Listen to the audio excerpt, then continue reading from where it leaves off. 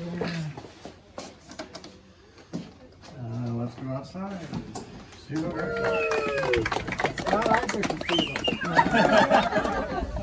Thank you. Uh, is this from Dickens? This No, it's downtown, downtown, downtown Abbey. Good one. Well, that's what everybody was calling the, the series for the person. Did you see Downtown Abbey last night? No, it's Downtown Abbey. So this is Downtown Abbey. Rainey has made the fireplace. And then this goes on to it. It's got to be cut down just a little bit of sanded down. And we'll paint this white, the whole thing white. Then Linda will start to marbleize it so it looks like a marble fireplace. Yeah. And we've got the tile here, which is a marble. And we made the fireplace fender out of a, excuse me, out of a shelf for spices. So we got that, cut it down, sprayed it sort of a brass color. And that'll go in the front here. And then up on the top, will be necessarily these guys, there might be two of this one or so, and then something in the center. I don't know which what it'll be yet, but that will do. But in the meantime, we've got to sand this all down to make it smooth for Linda's, for so we can paint it. Yeah. Uh, and then there'll be some greenery or flowers and a wreath up here and something in the center here sitting on the mantle. So that's that's the fireplace coming coming along. But You are you are a master of finding the little thing, the little everyday things, and making them fit and to be, just really be something elegant like this. well, you try and think of like what can I use to make this with, or because uh, everything that we're doing is quarter scale, so it's three inches to the foot. And you think, well, we could use doll furniture and doll things, but that's one twelfth, so it's way too small. And Angela's also doing research at the same time of like what kind of potatoes would be used at that time in England. Uh, of course, there are like 500 and some odd different kinds Right, of there was quite a variety. Uh, so definitely trying to get things within the, the time era that we're working on, which is the 1920s, and in the area, which is England. So definitely trying to stay true uh, to Mr. Bob's vision, and and you know scale everything and then make it historically accurate. So hopefully it'll all come together. And this is one of the figures for the window, so Angela can sort of take and say, oh, well, does that fit? Would Right. that be sort of right? And yes, it is. Look at that. That's that's what's Bob so interesting about this of how you, you everything everything is just right and it's historically accurate too. Well, for this one, it is uh, more of a historical time that we're using in the 20s. And we're doing Downtown Al- uh, Abbey, which will take off on Downton Abbey. And it's we're really having fun with it. I am, at least, uh, and I hope everybody else is. We've got uh, glassware, uh, wine glasses that are being made by a glass blower in Richmond, uh, and they should be here sometime this week. And they're all to scale and all hand blown. I wanted to have a ham stand, and so what, what are we using for a ham stand? A little small plate, a cup, and inverted. So we've got the ham stand, and then there will be a ham on you top know, of through that. him, through his little findings, you know, like this is a nutmeg grinder, but it is to scale a large cheese grinder. Yeah. So, you know, it's just trying to find things that, you know, can double duty. I've looked up, you know, like I said, all the historical things as well as movie clips and or TV clips, trying to, you know, get the Downton Abbey, you know, just get how they would prep things and how how they would work things out. Because of course now, in what 2019, almost 2020, everything is bright and vibrant. Yeah. Whereas in 1920, everything is a lot more understated, a lot more muted. So you know, then it's you know taking that back. You know, they didn't do red apples; they did green apples. They, you know, just th- some of those little details that probably the mass majority out there won't won't notice, but there'll be the, those few that Yeah. definitely come by and Yeah. they'll be like, ah, right there. Yep, that's exactly. That's why. That's exactly. You are so good at making something out of a lot of different pieces. This is Bob. Bob is brilliant. Bob is, I mean, Bob and Tom both are able to visualize something, or rather, Bob is able to visualize it and sit there and go, da, da, da, da, and then Tom is able to like, oh, well, I can do this and this and this.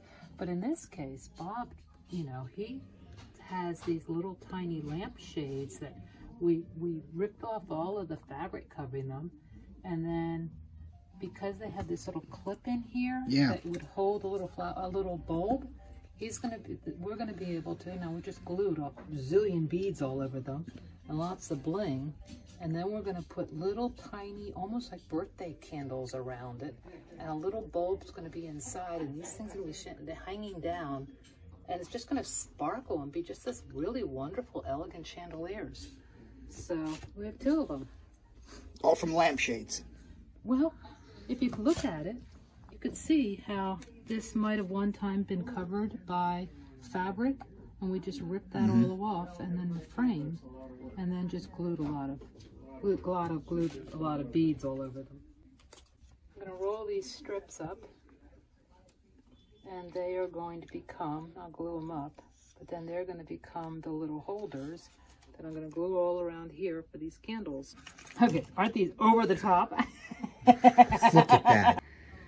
So, so they're gonna sit in these little silver holders all around these things, and it's just gonna be one big sparkly, yeah.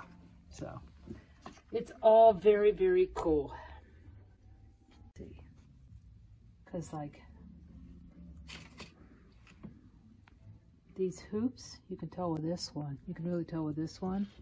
These hoops are those embroidery hoops. mm-hmm So, it's just Can you see right now what it will look like on Thursday night? Oh yes, there's a couple of things I'm just like is that is the rug going to be right? Because we've never tried it because we haven't had the window. Yeah.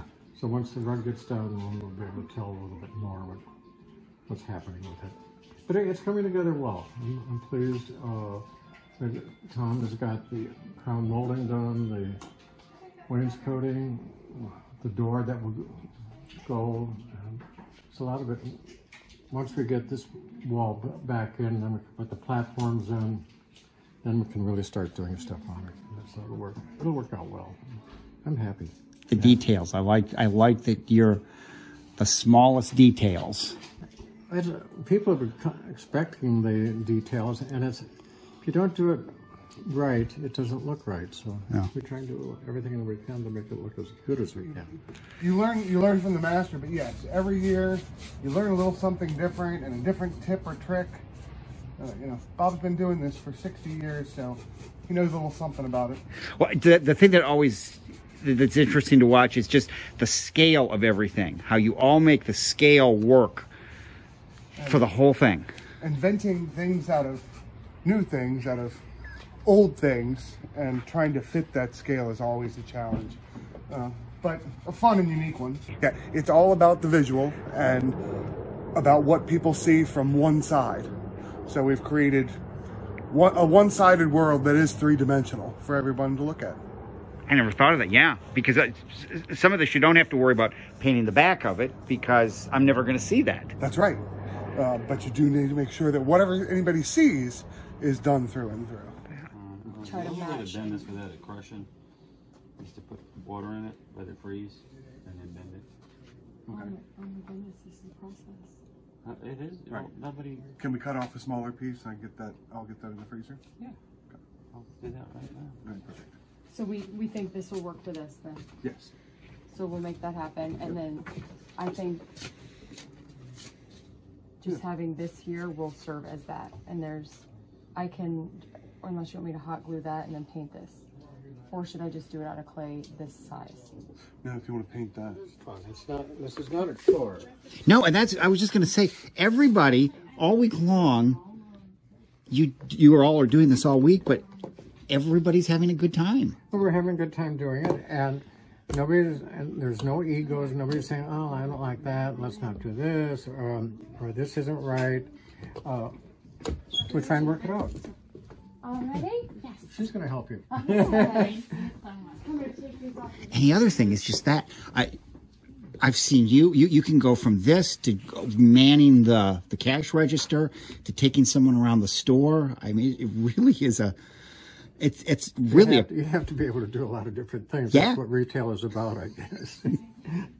But no, no, nobody has gotten nobody has gotten annoyed with one another. Everybody just works as it's. No, I've got a good team. This is a fantastic team. Yeah, it's- I've got wonderful people doing great work, and I'm I'm so proud of them. I couldn't be happier because I think it really has turned out beautifully, and everyone has just, and my whole staff, and has worked so hard on it, and As I was driving in tonight, I just thought we are. I don't know that we we know in this area how fortunate we are to have something like this. This this is this is exciting. Thank you, thank you very much. It's, and I keep thinking, should I keep on doing it because it gets more expensive each year, and I'm getting a little too old at times to do some of this stuff. But as long as I can keep on doing it, I'll keep on doing it. I sure hope you do it a few more times at Okay. least. I, this is this really it, the, to see behind the scenes, and like you to say, when you, you between between you and your staff, boy, you're a, you're a, you're a great team. I think we are. and I'm very fortunate to have um, people like that, and they're friends too. So it's not just uh, people that I'm working with or working for me. Thank you again. You're more than welcome, and Merry Christmas.